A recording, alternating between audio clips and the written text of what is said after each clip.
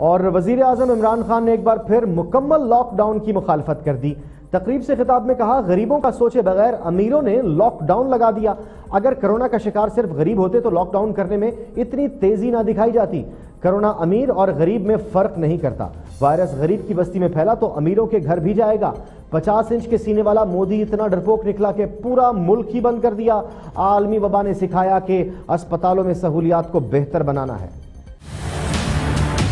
Mindset था अब तक। वो माइंडसेट से हम नहीं निकल पा रहे। एक डिपेंडेंसी सिंड्रोम है।